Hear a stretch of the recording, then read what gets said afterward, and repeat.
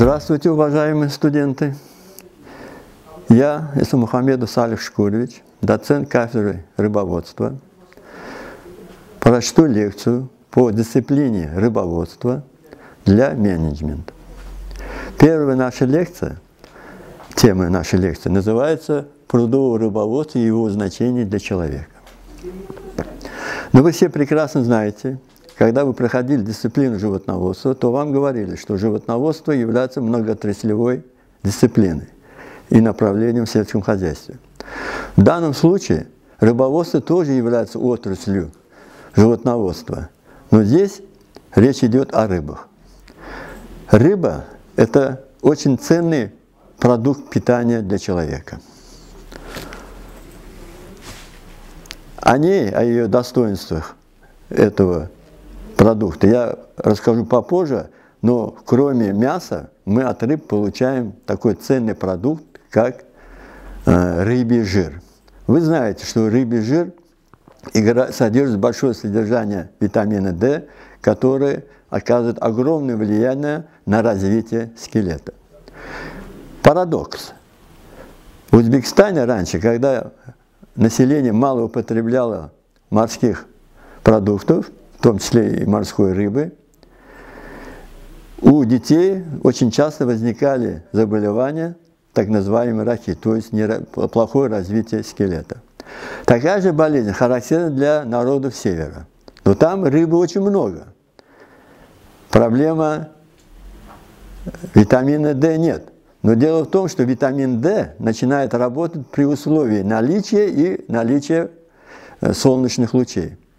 При отсутствии витамина D в организме, но солнечные лучи есть, э, возникает болезнь, и при наличии витамина D, но отсутствие солнечных лучей, возникает эта болезнь. Поэтому, благодаря тому, что в последнее время мы стали завозить эти продукты, кроме того, фармацевтия разработала это препарат рыбий жир, заболевание это резко снизилось. Теперь кроме рыбы и жира, вы должны знать, что от рыб получает ценные корма, которые необходимы для растущих животных. Речь идет о рыбной муке. Рыбная мука, как корм для растущих цыплят, телят и других животных, является незаменимым. Поэтому этот продукт тоже ценится. Помимо корма, значит, используются различные, приготавливают из Э, рыбы э, лекарства, используем фармацевтии клей. То есть, э, значит, продукты, получаемые от рыбы, очень ценны. Теперь мы должны рассмотреть, что за отрасль. Вы, как будущие руководители, как э, менеджменты, могут быть возглавлять фермерские хозяйства, должны знать, что рыбоводство среди отраслей животноводства считается наиболее доходным. То есть высокоэкономичным. Причина такого отличия заключается в том, что мы при разведении рыбы получаем продукт довольно короткий срок при наименьших затратах. Себестоимость любой продукции определяется, сколько вы затрачиваете корма на получение определенного прироста. Так вот, если мы будем сравнивать прирост крупного рогатого скота, чтобы получить 1 килограмм мяса, мы должны затратить, дать этому животному около 10 килограммов корма. А рыбы, чтобы получить 1 килограмм мяса рыбе, мы тратим всего 2,5-3 килограмма. Значит, почти в три раза мы э, меньше затрачиваем корма. Второй аспект. Вы должны знать, что для разведения скота вы должны строить здания, там, соответственно, все инфраструктура. Э, при разведении рыбы таких огромных затрат нету. И самое главное то, что животные, они теплокровные, они требуют корм, который часть идет на поддержание э, физиологического состояния. У рыб э, вот такого физиологического состояния нету. Поэтому тот корм, который даете, оно в основном идет на развитие самой рыбы. Теперь, ребята, вы должны знать один такой очень важный момент. какие же рыбы сейчас разводят для получения определенной продукции. Ну, вы по базару сами прекрасно знаете, видите. В основном у нас, например, на ташкентских рынках продают толстолобик, белый, пестрые, пестрые крупнее, они в основном их продают в разделочном виде. Потом вы в последнее время, наверное, стали видеть, продают африканского сомика, это необычная рыба, она завезенная, значит, к нам из Китая. Затем мы разводим, это наша традиционная рыба, это карп, то есть одомашненный сазан. Помимо этого вы можете видеть на базарах, когда продают белый амур, змеи-голову и наш свой обыкновенный сом. Значит, эти рыбы все являются э, элементами или объектами искусственного разведения. В чем суть такого разведения? Суть этого разведения в том, что человек их содержит, кормит. В начальном этапе сначала он получает достаточное количество, должен получить так называемого мальков для того, чтобы их в дальнейшем разводить. Затем их откармливают, и в зависимости от цикла выращивания, значит, есть двухгодичный цикл, есть трехгодичный, потом реализуется как товарная рыба на рынках. В чем разница двухгодичного или трехгодичного? Дело в том, что при разведении, например, толстолобика или карпа, э, масса опускаемого молодняка на второй год в эти э, нагульные пруды составляет от 50 до 100 грамм.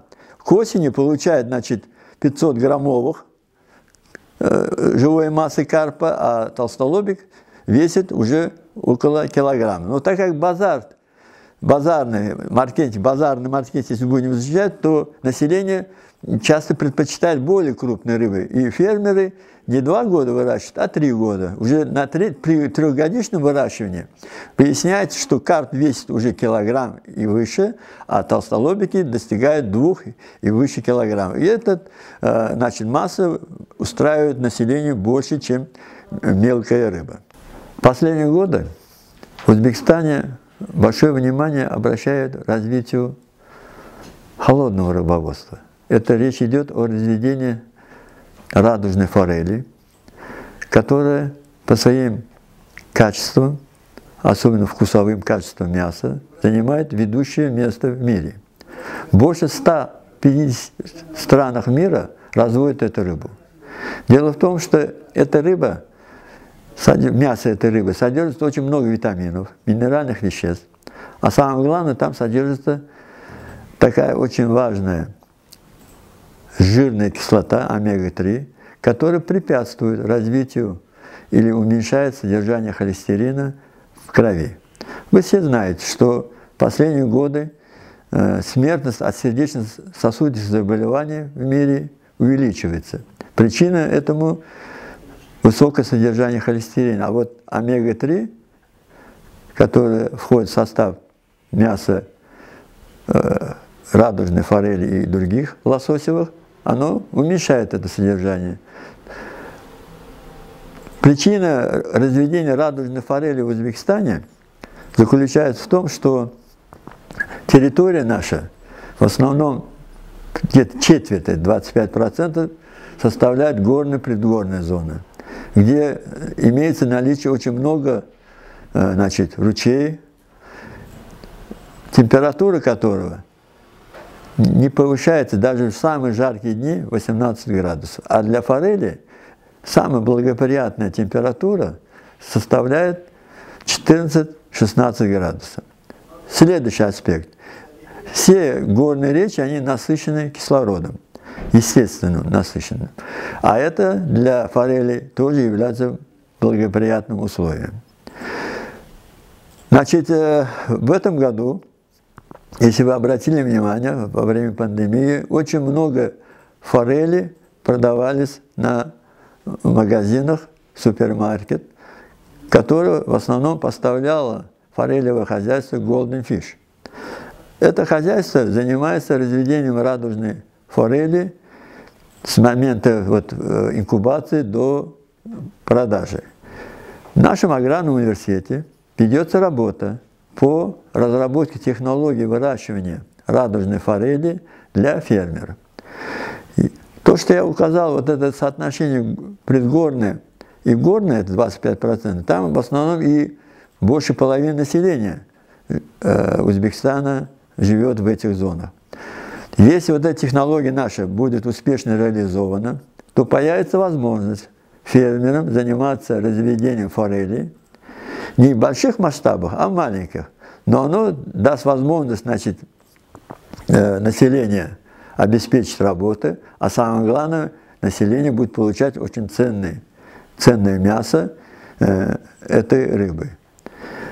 Кроме этого, вы знаете, что лососевые дают не только мясо, но очень прекрасный продукт – это красная икра. Она очень ценная и очень полезная для человека. Значит, в Узбекистане в основном разводят рыбу так называемым а, значит, э, прудовая аквакультура, то есть в прудах, которые создаются человеком, значит, выращивание, э, кормление, все это контролируется человеком, и в зависимости от возраста рыб, соответственно, получают э, значит, тот продукт, который значит, ставилась цель. Ну, в основном, я раньше, в предыдущем, в начале говорил о том, что у нас в основном разводят значит, толстолобиков, белые и пестрые, белого амура и карпа. В последнее время начали использовать очень быстро растущую, очень доходную рыбу, это африканский сомик. Суть разведения вот этих рыб заключается в том, что э, значит, толстолобики и белый амур – это так называемые растительноядные рыбы. То есть они в основном питаются за счет растений, водных растений. Карп требует подкормки в виде корма.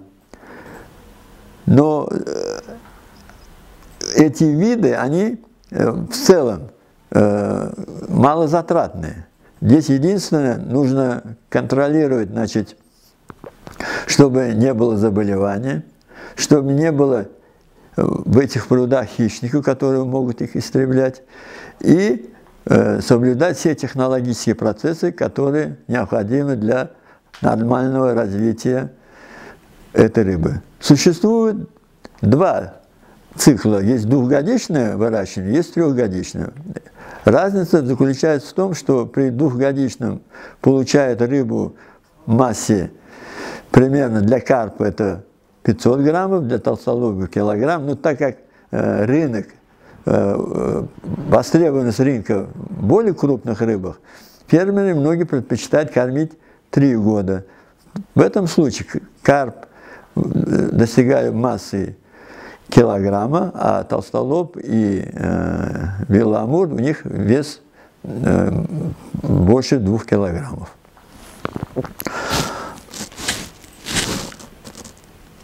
Значит, э, из сказанного мы можем сказать следующее. Значит, аквакультура в Узбекистане, она имеет свои традиции.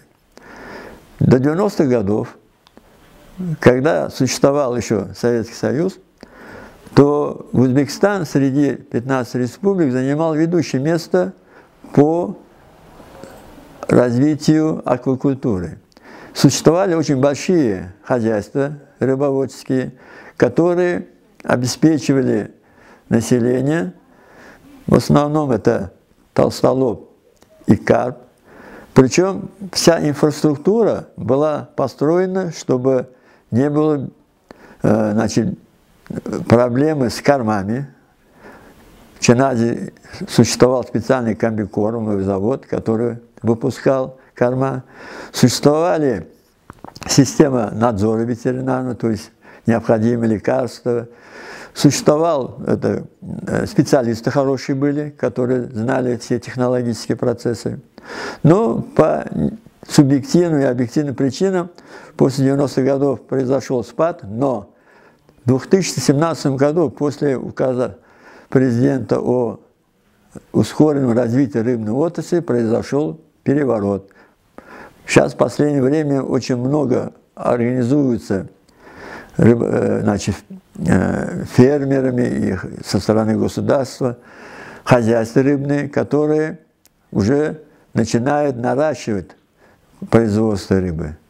Очень отрадный момент, что э, благодаря вот этим постановлениям президента созданы совместные предприятия с Россией, Вьетнамом, Венгрией, которые э, значит, выращивают и подготавливают мальков. А мальки – это основа. Если будет материал, посадочный, так называемый это рыб, то фермеры спокойно могут выращивать в дальнейшем до, до товарной кондиции и реализовывать на рынках.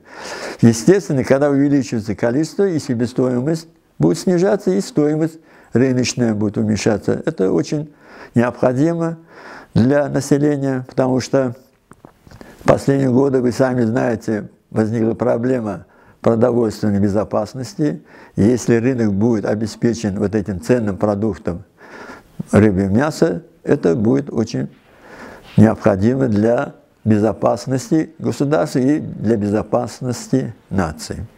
Начали строиться, создавать современные значит, хозяйства, где занимаются разведением рыб по самым современным технологиям.